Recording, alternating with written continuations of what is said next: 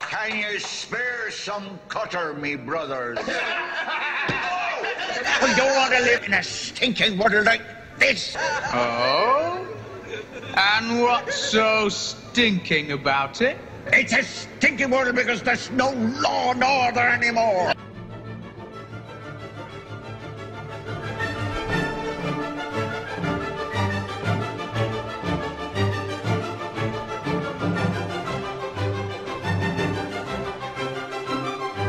What crime did you commit?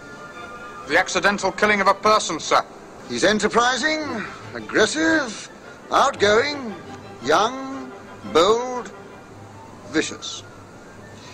He'll do. I'm sorry, Alex. This is for your own good.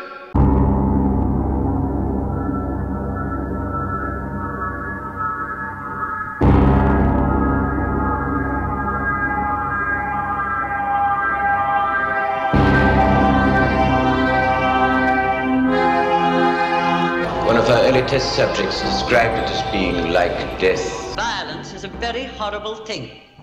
That's what you're learning now. The one man who wants to save you from yourself. This young boy is a living witness to these diabolical proposals. He can be the most potent weapon imaginable.